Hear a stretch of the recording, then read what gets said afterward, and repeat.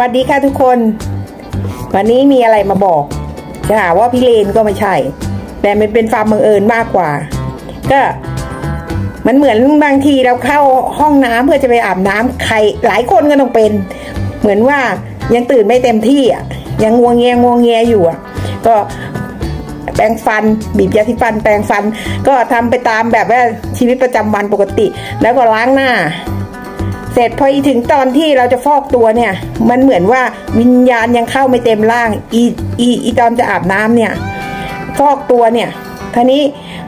ใครเคยเป็นมั่ง มันจะคันบางจุดที่อยู่ในร่มผ้า ก็ฟอกสบู่เป็นเอล้างเนื้อล้างตัวตามปกติ แต่ว่าเพอเอิญก็เพราะว่ามันยังเข้าไม่เต็มร่างอันยานไปฟ้ายาสีฟัน มาบีบใส่มือแทนสบู่แล้วก็ฟอก มันหายคันเฉยเลยนะในบางส่วนที่มันคันอยู่อะแล้วก็ไม่แน่ใจว่ามันเออมันหายคัน ตอนนี้เวลาอาบน้ำใหม่ก็คิดว่าคิดไปเองใช่ไหมก็ลองฟอกอีก อุ้ยมันหายคันเฉยเลยสำหรับเรานะ ใช้ยาสีฟันแต่ยาสีฟันนั้นมันเป็นยาสีฟันสมุนไพรไง ก็เลยลองใช้เราก็เลยมาลองนึกว่าเอ๊ะทำไมมันหายคันในเมื่อมันเป็นยาสีฟัน สังเกตสิปากเราอะ่ะเช้าตื่นขึ้นมามีกลิ่นเนาะมันก็คงระงับเชื้อแบคทีเรีย หรือเชื้อโรคบางชนิดได้ และอย่างน้อยมันก็มีสารเขาเรียกอะไรนะที่ตัวที่ทำความสะอาดน่ะขนาดปากเรายังรู้สึกจดชื่นเนาะแล้วส่วนอื่นมันจะไม่สดชื่นและสะอาดได้ยังไง เราก็คิดไปตามเหตุตามผลที่จะอ้างเอาเข้ามา นี่แหละ ที่ว่าทำไมใช้ไปแล้วรู้สึกหายคันและดี น่าจะเป็นจากเหตุผลนี้ว่าในตัวยาสีฟันนั้นน่ะ น่าจะมี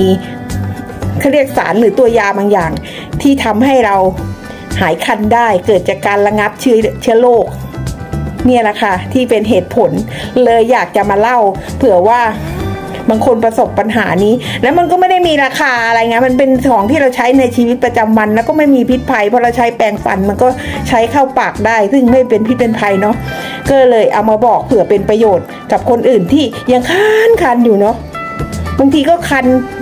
แบบบางทีแพ้เหงื่อเนาะที่หลังเนี่ย หรือว่าบางส่วนนั่นแหละ ใช้ได้ทั้งหญิงทั้งชาย ลองดูเนาะถ้ามันไม่ดีก็ไม่ต้องใช้ไง แต่เราว่ามันไม่อันตราย เพราะว่า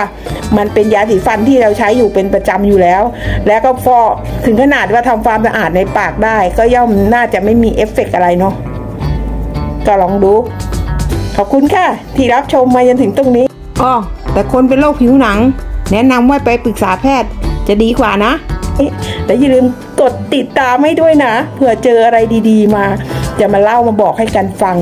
กดกระดิ่งแจ้งเตือนจะได้ไม่พลาดคลิปต่อไป กดไลค์และกดแชร์ไปให้เพื่อนๆคุณได้รับชมด้วยค่ะ ขอบคุณค่ะ